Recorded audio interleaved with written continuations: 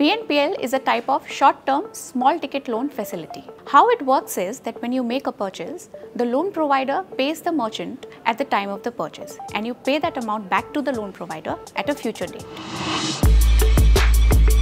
Under BNPL, you can borrow small amounts ranging from a few thousands to up to rupees 1 lakh. As for the loan tenure, there are two options. One is a credit-free period, which comes with shorter tenure of 15 to 45 days, but is completely interest-free.